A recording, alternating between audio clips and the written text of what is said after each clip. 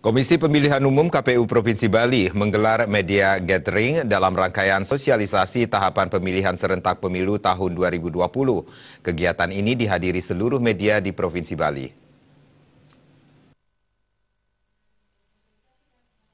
Dalam rangka mensukseskan pemilu kada serentak tahun 2020, KPU Bali telah melakukan langkah sosialisasi. Hal tersebut dikemas dalam kegiatan media gathering dengan sejumlah wartawan yang ada di Bali. Masa kampanye akan dimulai pada 26 September hingga 5 Desember 2020. Kemudian dilanjutkan dengan pembentukan KPPS pada 1 Oktober hingga 23 November 2020.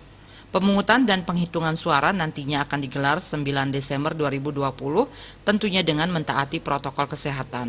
Untuk rekapitulasi tingkat kabupaten kota, nantinya akan dilaksanakan pada tanggal 13 hingga 17 Desember 2020.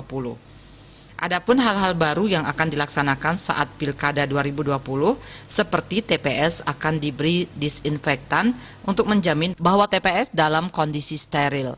Setiap pemilih nantinya akan diberikan sarung tangan sekali pakai. Para petugas kelompok penyelenggara pemungutan suara KPPS akan dibekali sarung tangan dan melewati tahapan screening kesehatan. Jumlah total penyelenggara ad hoc Pilkada 2020 untuk seluruh kabupaten kota di Bali yakni sebanyak 8.652 orang.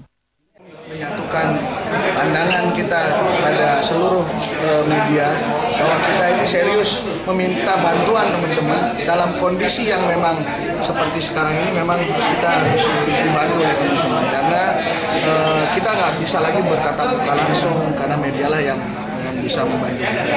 Yang ketiga, pada saat kita meminta bantuan ini tentu eh, ada prosedur-prosedur yang akan dilalui dan itu memerlukan eh, proses administrasi yang nanti akan dibagi oleh teman-teman kabupaten kota. Di sana ada anggaran, silakan dimanfaatkan tetapi dengan legal, bukan dengan ilegal. Jadi itu yang sebenarnya sehingga target kami, target kita semua, teman-teman media juga punya target uh, membantu kita dalam rangka sosialisasi sehingga target 85% pemilih yang hadir di TPS bisa kita capai bersama. Pada saat pendaftaran, ya saya sudah pastikan bahwa tidak ada boleh yang rame-rame APK bawa bawa ganjur kayak segala itu jangan karena yang boleh hadir ke TPS eh, ke KPU masing-masing itu hanya LO-nya, jadi penghubungnya yang membawa administrasi itu dengan dua calon bupati dan wakil bupatinya atau wali kota dan wakil wali kotanya. Calon boleh masuk, penyelenggara boleh masuk, kemudian eh, apa namanya